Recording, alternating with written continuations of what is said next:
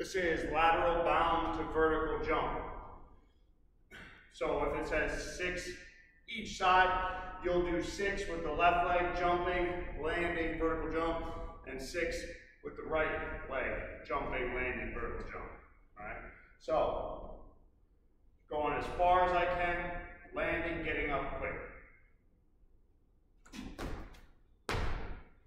Try not to move forward like I did there. I'll go back the other way.